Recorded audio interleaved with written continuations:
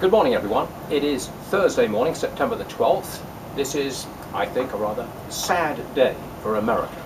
Picked up a copy of the New York Times today, and right there on the op-ed page there is an editorial by Vladimir Putin, Russia's leader. He lectures the United States. He takes command of foreign policy. He has beaten our own President Obama. I note the following.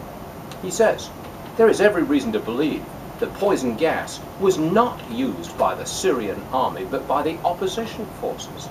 He's enhancing this myth that somehow or other the rebels in Syria got hold of these weapons, fired them, and then made it responsibility of the Syrian government. This from the leader of Russia. Item number two.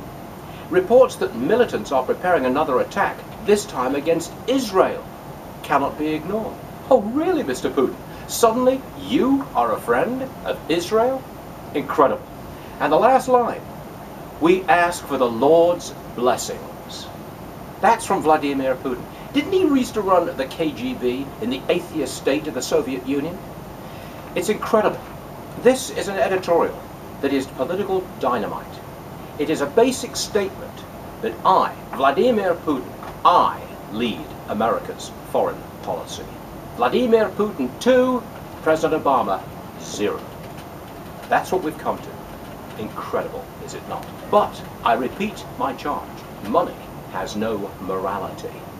In the th last three days, the Dow Jones Industrial Average has gone up roughly 400 points, as foreign dictators have taken over control of our foreign policy. That is immoral. Money doesn't care. Stocks go up. Incredible. There's a lot more news today, but that to me was the highlight, and we will have more on it three hours from now.